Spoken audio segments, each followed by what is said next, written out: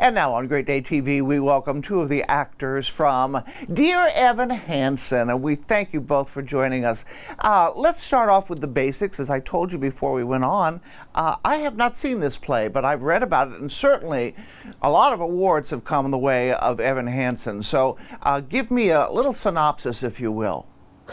so uh, Evan Hansen is about this young man who fabricates a relationship with a boy who has passed away. Yeah. And doing so, he sort of gets everything he ever wanted in life. And the story explores the complex relationships and nuances of what goes along with something like that. Uh-huh. Um, it's very much about connection. It's about um, you know fi- finding your voice and finding a place where you mm-hmm. feel um, purposeful and uh, it's a pretty wild ride of a yes. musical.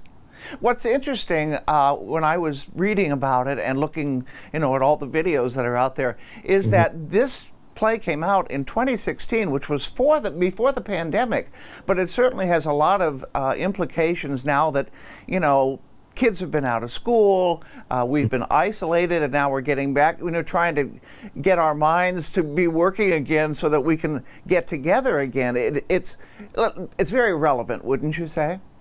Indeed. Yes, I think that after the collective experience that we all went through, I think uh, a show like this is super, super relevant. Um, yeah, and, I think we're both just so grateful to be sharing this story every night. Mm-hmm. You know? Yeah, my mom actually was came to see the show last week in Rochester, and she hasn't seen it since before the pandemic, and she was quite she was pretty floored with how differently it resonated, mm. right? Because we've all been separated, like you said, we've been out of school, all of these things, mm-hmm. and then to come and watch this piece that is so deeply about our desire for community, um, yeah. just really kind of ignites in a different way.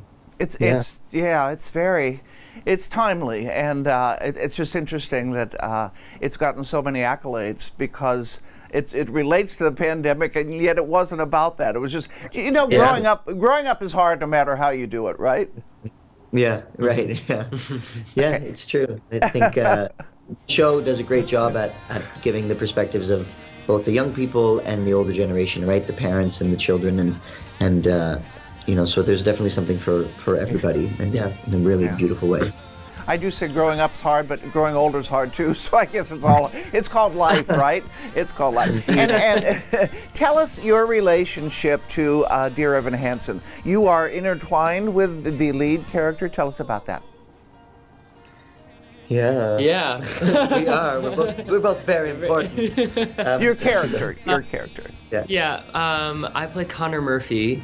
Um, and I guess my character is interstitched within, you know, uh, what is sort of the catalyst, but also within his own imagination. I, I would say. I'm not sure exactly how much we can. I think that's say. good. Connor's yeah. Connor's the catalyst of the narrative in many ways. Yeah. Um, Jared is the assistant to the narrative.